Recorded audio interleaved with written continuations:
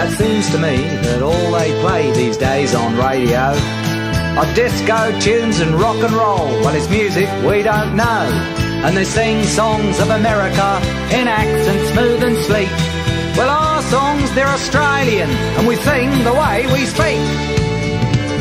Cause we don't play American music, and we don't sing American songs. We'll sing of the bush or Sydney push, we'll even sing about Geelong. We'll sing about the old time shearers and the Wallaby tracks now gone. But we won't play American music, and we won't sing American songs. Now in some parts of Australia, they're playing country songs, and they sing about the country, but there's something slightly wrong, cause the tunes all sound as if they come from Nashville, Tennessee.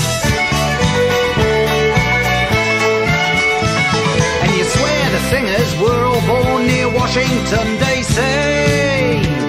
Well, we don't play American music, and we don't sing American songs. We'll sing of the bush or a Sydney push. We'll even sing about Geelong. We'll sing about the old time shearers and the wallaby tracks now gone. But we won't play American music and we won't sing American songs. Well, we may be out of fashion and we may be out of touch. We may not make the hit parade. Don't fancy our chances much. Cause we don't sing songs like Galveston or Rocky Mountain High. We can keep your West Virginia, mate. We'll settle for Gundagai. Cause we don't play American music and we don't sing American songs.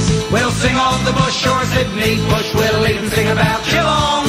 We'll sing about the old time shearers and the Wallaby tracks now gone. But we won't play American music and we won't sing American songs. No, we won't play American music and we won't sing American songs. We'll sing of the bush or Sydney push. We'll even sing about Geelong.